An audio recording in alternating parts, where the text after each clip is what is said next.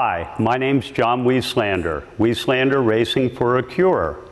We're an organization dedicated to raising awareness and funding for prostate cancer research.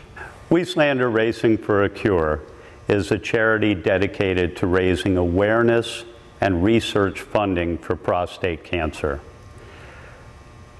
Our goal is to address men's well care uh, through our customers, the general public, and those that we encounter every day in our lives. Our goal is to raise as much money as we possibly can by participating in local car shows, racing events sanctioned by the Sports Car Club of America, and local charity events hosted by the Chamber of Commerce, the Kent Island Cruisers, our local car club. This year, we held a raffle for a beautiful Paul Reed Smith guitar, and that raised over $2,500 for the cause. Without this money coming in, in any amount, the research can't move forward.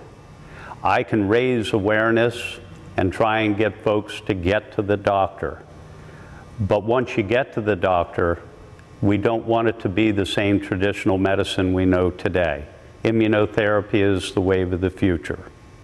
As a young man, I grew up like many in an era when we didn't understand the damage that things we do to our body can do and how it can promote certain diseases and health issues. For me, it was simply smoking cigarettes. I smoked cigarettes for more than 30 years and I decided to quit. And I did quit successfully. When I turned 50, my doctor was pleased to hear that I had quit smoking, but advised me that I needed to participate in a men's well care program. He was talking about prostate cancer, skin cancers, and other things like diabetes, high blood pressure, and high cholesterol. And eventually my PSI, PSA spiked. And when it did, I wanted to go to the best hospital in the area for my treatments and evaluation. So I ended up at Hopkins. A very specialized MRI was ordered. There, instead of prostate cancer, remarkably found a small carcinoma about the size of my fingernail uh, in my bladder. And in the elevator with me was Dr. Ashley Ross. I went on the Hopkins website and looked and looked until I found a picture of him and then made an appointment with him. On my very first visit, Dr. Ross made me feel comfortable, at ease, explained the procedure, and at the end of that visit, I was entirely comfortable that I had made the right decision. I'm at Johns Hopkins and I run the prostate cancer program in the urology department there. And we're really interested in evaluating new technologies, both diagnostically for prostate cancer and also new therapeutics. Uh, when I first came to know John, he was interested in how he could take his patient experience and transform that into one where he gets involved in the research programs and, and further research in many areas, particularly areas that might be underfunded but could have potential high rewards.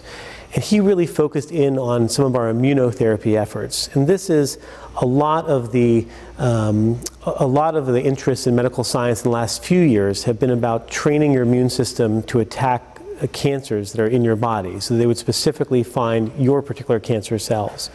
In prostate cancer, it hasn't been as responsive to immunotherapy as some other malignancies, like melanoma, um, renal cell carcinoma, lung cancers. And so we've been looking at ways to tweak the prostate cancer to either expose itself to the immune system more or to use and capitalize on some of the properties of the immune system to attack the prostate cancer.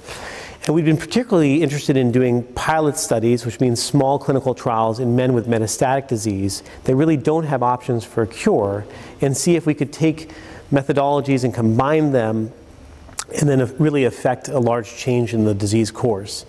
John was interested in a program we were doing in which we would give a immune stimulant, uh, it's called anti-PD-1, that would sort of make your T cells more active against your cancer and expose the cancer antigens, which are the markers on the cancer cells that differentiate them from your normal cells, by doing something called cryotherapy.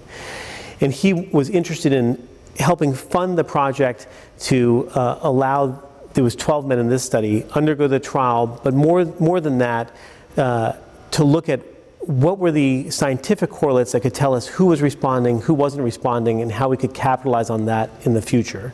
And whenever you do these uh, sort of shoot the moon type studies, um, you'll have 12 patients or 15 patients, and maybe only a few will respond. And actually, the importance of the research is to figure out what made those patients different. Was it their cancers? Was it the patient themselves? And then you can always add to that research so that instead of having two or three people respond, you can get 80%, 90% response rates. And with these pilot projects, they're usually underfunded. They're usually big ideas that could make great advances, but a lot of them, you know, will fall will fall short. And that's where philanthropy really plays a key role. Even when you get to the finish line on these projects, understanding the science behind it and how it will affect other men really goes under underfunded and gets shortchanged. And so that's one area that John thought he could make a big contribution and we're happy that he got interested in that and he's supporting it. And actually, since the time we first met, we've opened at least two more trials looking at immunotherapy in, in prostate cancer, and we're continuing on with that effort.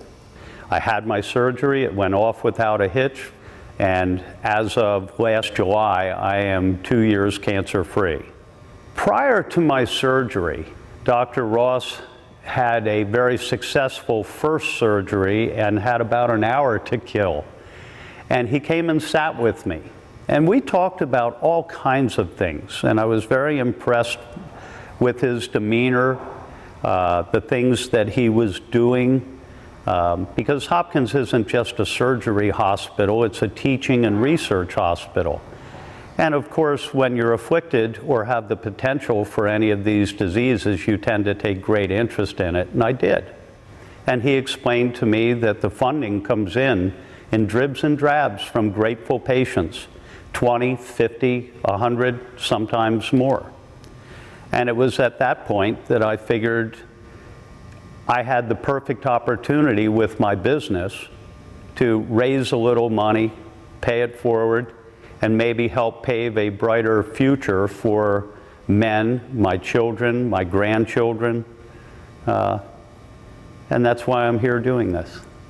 Dr. Ross, it's with great pleasure that Kent Island Marine and Wieslander Racing for a Cure present you with this check to further your research for prostate cancer while we raise awareness.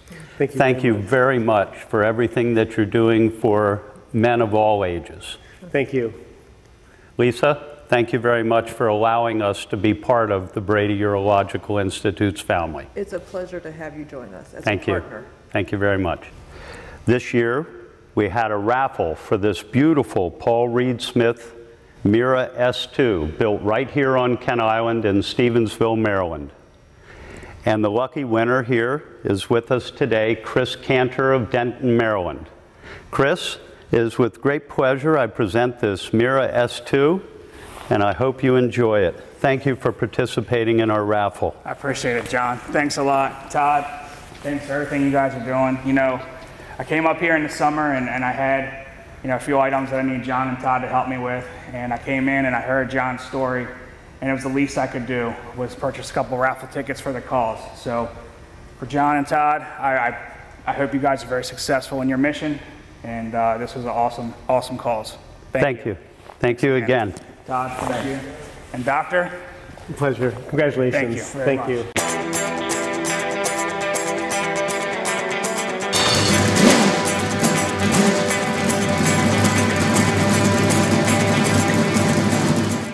My father's John Wieslander. Um, as a young child, I wanted to get a go-kart to play in the yard with.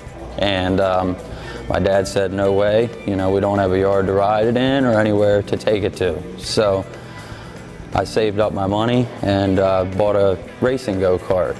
And we got involved in racing go-karts. Um, we both fell in love with the sport and um, grew from there, you know, got out of go-karting and into a full-size Mustang race car and um, grew up, had a family, got in the way of racing, and uh, recently were able to purchase this car and get back into racing. I'm a mechanic on for Kent Island Marine Service, um, work on boats, and have had a love for racing since I was a young child. My father was into racing. Racing and having this car really helps raise awareness for our charity by it's basically a big rolling billboard. So at the track or here at our shop, as we have customers come in and out, it helps raise awareness for our charity.